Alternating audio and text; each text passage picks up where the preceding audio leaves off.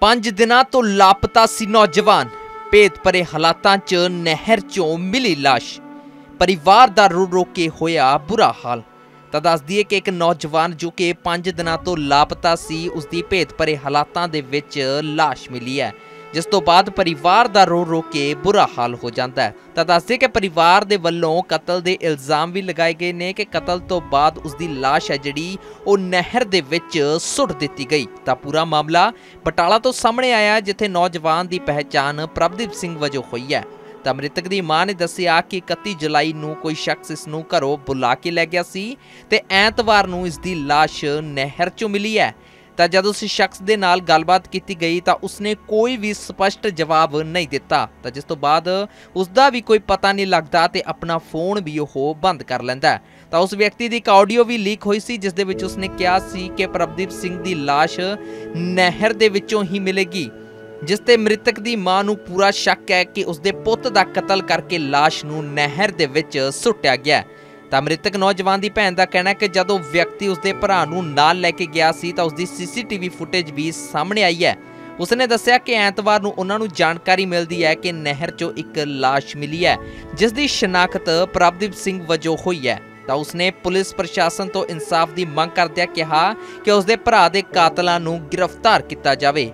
ਇਸ ਸੰਬੰਧੀ ਪੁਲਿਸ ਨੇ ਕਿਹਾ ਕਿ ਮ੍ਰਿਤਕ ਪ੍ਰਭਦੀਪ ਸਿੰਘ ਦੀ ਮਾਤਾ ਪਲਵਿੰਦਰ ਕੌਰ ਵੱਲੋਂ ਇੱਕ ਸ਼ਿਕਾਇਤ ਮਿਲੀ ਹੈ। ਤਾਂ ਅੱਜ ਪਤਾ ਲੱਗਿਆ ਕਿ ਪ੍ਰਭਦੀਪ ਸਿੰਘ ਦੀ ਲਾਸ਼ ਨਹਿਰ 'ਚੋਂ ਬਰਾਮਦ ਹੋਈ ਹੈ। ਤਾਂ ਉਹਨਾਂ ਕਿਹਾ ਕਿ ਪੁਲਿਸ ਦੇ ਵੱਲੋਂ ਮ੍ਰਿਤਕ ਦੀ ਲਾਸ਼ ਨੂੰ ਪੋਸਟਮਾਰਟਮ ਦੇ ਲਈ ਹਸਪਤਾਲ ਭਿਜਵਾ ਦਿੱਤਾ ਹੈ ਤੇ ਬਣਦੀ ਕਾਰਵਾਈ ਕੀਤੀ ਜਾਵੇਗੀ।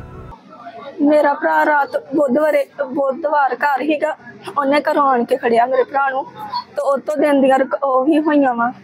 ਰਿਕਾਰਡਿੰਗਾਂ ਵੀ ਹੋਈਆਂ ਵਾ ਕੈਮਰਿਆਂ ਦੇ ਵਿੱਚ ਕੈਮਰੇ ਚੈੱਕ ਕਰਵਾਏ ਆ। ਤੇ ਉਹਨਾਂ ਵਿੱਚ ਮੇਰਾ ਭਰਾ ਅੰਦਰ ਜਾਂਦਾ ਮੇਰਾ ਭਰਾ ਬਾਹਰ ਨਹੀਂ ਨਿਕਲਦਾ।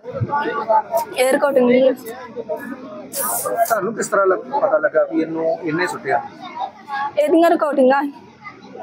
ਇਹਨੇ ਕਿਹਾ ਸੀ ਫੋਨ ਤੇ ਰਿਕਾਰਡਿੰਗ ਗੱਲ ਕੀਤੀ ਕਿਸੇ ਦੇ ਨਾਲ ਕਿ ਜੇ ਲੱਭੂਗਾ ਤਾਂ ਨਹਿਰ ਦੇ ਵਿੱਚੋਂ ਲੱਭਣਾ ਵਾ। ਉਹਦੀ ਲਾਸ਼ ਲੱਭਣੀ ਨਹਿਰ ਦੇ ਵਿੱਚੋਂ। ਹੋਏ ਹੁਣ ਅਗੇ ਬੁੱਧਵਾਰ ਰਾਤ ਘਰ ਆਇਆ ਤੇ ਉਹ ਮੁੰਡਾ ਆਇਆ ਤੇ ਘਰੋਂ ਭਾਲ ਕੇ ਲੈ ਗਿਆ। ਉਹਨੂੰ। ਲੈ ਗਿਆ ਤੇ ਮੁੜ ਕੇ ਅਗਲੇ ਦਿਨ ਅਸੀਂ ਆ ਲੱਭਣ ਡਿਆ ਪਿਆ ਨੂੰ ਤੇ ਹੈ ਨਹੀਂ ਤੇ ਮੁੜ ਕੇ ਮੈਂ ਫੋਨ ਕੀਤਾ ਤੇ ਆਂਦਾ ਮੈਂ ਲੱਭ ਕੇ ਲਿਆਉਣਾ। ਤੇ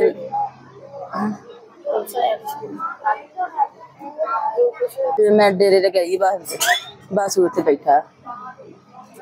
ਉਹ ਮੈਨੂੰ ਆਂਦਾ ਵੀ ਤੁਸੀਂ ਘਰ ਜਾਓ, ਮੈਂ ਲੱਭ ਕੇ ਲਿਆਉਣਾ।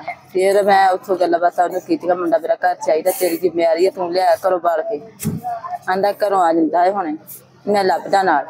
ਮੁੰਡੇ ਸਾਡੇ ਗਏ ਆ, ਉਹਨਾਂ ਦੇ ਨਾਲ ਲੱਭਣ ਡਿਆ ਪਿਆ ਤੇ ਮੁੜ ਕੇ ਕਿਸ ਗਿਆ ਹੈ ਇਹ ਮੁੜ ਕੇ ਪਰਾਲੀ ਵੀ ਆਂਦਾ ਬਠਿੰਡੇ ਚੱਲਿਆ, ਇਹਨੇ ਮੁੜ ਕੇ ਫੋਨ ਹੀ ਬੰਦ ਕਰ ਲਿਆ ਮੁੰਡੇ ਨੇ। ਇਸ ਤਰ੍ਹਾਂ ਪਤਾ ਲੱਗਾ ਵੀ ਅਸੀਂ ਕੈਮਰੇ ਚੈੱਕ ਕਰਾਏ। ਉਹਦੇ ਵਿੱਚ ਉਹ ਦੋਵੇਂ, ਮੇਰਾ ਮੁੰਡਾ ਤੇ ਉਹ ਮੁੰਡਾ ਦੇ ਵਿੱਚ।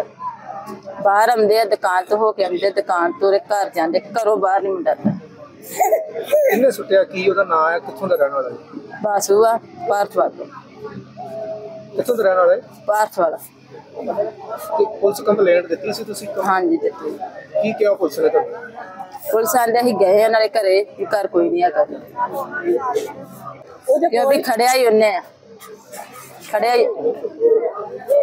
ਅੱਛਾ ਜੀ। ਖੜਿਆ ਬਸ। ਨਹੀਂ ਆ ਵੀ ਜੇ ਲੱਭੂਗਾ ਤਾਂ ਨਹਿਰ ਤੇ ਲੱਭੂਗਾ। ਨਹਿਰ 'ਚ ਹੀ ਹੈ ਜੀ ਹੋਰ ਕਿਤੇ ਨਾ ਨੱਠੇ ਫਿਰ। ਉਹਨੇ ਆਪ ਖੁਦ ਦੱਸਿਆ। ਤੇ ਇਹ ਨਸ਼ਾ ਕਰਦੇ ਸੀ? ਕੀ ਕਾਰਨ ਸੀ? ਨਸ਼ਾ ਕਰਦੇ ਸੀ। ਪਰ ਇੰਨਾ ਨਹੀਂ ਕਰਦਾ ਮੇਰਾ ਬੱਚਾ। ਉਹ ਜਿਹੜਾ ਨਸ਼ੇ ਵਾਲਾ ਦੂਜਾ ਸੀ ਨਾ ਜਿਹਨੇ ਖੜਿਆ ਉਹ ਵੇਚਦਾ ਤੇ ਤੁਸੀਂ ਕਦੀ ਰੋਕਿਆ ਨਹੀਂ ਕਿ ਨਸ਼ਾ ਇਹ ਮਾੜਾ ਵਾ ਤੇ ਇਹਨੂੰ ਨਾ ਕਰਨਾ? ਰੋਕਿਆ ਹੀ ਭਾਵੇਂ ਉਹਨੇ ਘਰੋਂ ਵੜ ਕੇ ਲੈ ਗਿਆ ਮੁੰਡਾ ਮੇਰਾ ਘਰ ਰਹਿੰਦਾ ਸੀ। ਉਹ ਉਧਰ ਲੈ ਗਿਆ ਆਣ ਕੇ ਰਾਤ 8 ਵਜੇ।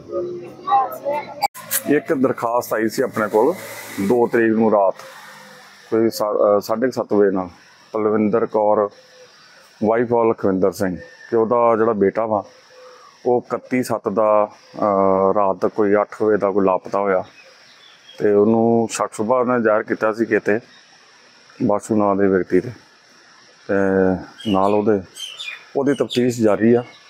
ਤੇ ਉਹਦੀ ਅੱਜ ਪਤਾ ਲੱਗਾ ਕਿ ਉਹਦੀ ਡੈੱਡ ਬੋਡੀ ਜਿਹੜੀ ਆ ਨਾ, ਉਹ ਚੰਡੇਰ ਥਾਣੇ ਜਿਹੜੀ ਆ, ਉਹ ਉੱਥੇ ਮਿਲ ਗਈ ਆ। ਤੇ ਬਾਕੀ ਜਿਹੜੀ ਆ, ਉਹ ਕਾਰਵਾਈ ਆਪਾਂ ਤਫਤੀਸ਼ ਕਰਨ ਦੇ ਬਾਕੀ ਜਿਹੜੀ ਕਾਰਵਾਈ ਚੰਡੇਰ ਥਾਣੇ ਵਾਲਿਆਂ ਨੇ ਕਰਨੀ ਆ। ਬਾਕੀ ਕਿਸੇ ਜਿਹੜਾ ਕੋਈ ਦੋਸ਼ੀ ਪਾਏਗਾ ਉਹਨੂੰ ਆਪਾਂ ਛੱਡਣਾ ਨਹੀਂਗਾ ਉਹਨੂੰ ਜ਼ਰੂਰ ਉਹਦੀ ਬਣਦੀ ਸਜ਼ਾ ਦਵਾਈ ਜਾਏਗੀ।